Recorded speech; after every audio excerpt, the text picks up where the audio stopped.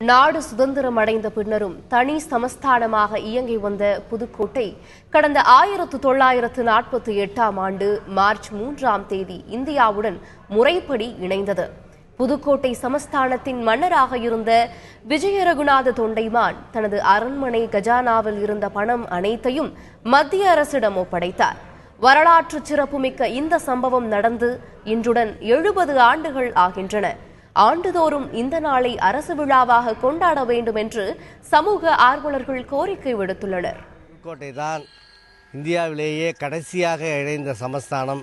எனவே இதை இந்த சமஸ்தானத்திற்கு மத்திய அரசாங்கம் ஒரு முன்னுரிமை வழங்க வேண்டும்.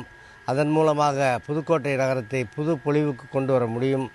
இந்த நகரம் இணைந்த நாளை புதுக்கோட்டை நகரத்திலே ஒரு விழாவாக புதுக்கோட்டை மாவட்ட மக்கள் ஒரு விழாவாக கொண்டாடும் வகையாக இந்த நிகழ்ச்சிகளை அமைக்க வேண்டும் என்பது எங்களை போன்ற இந்த சமூக ஆர்வலர்களுடைய ஆர்வம்.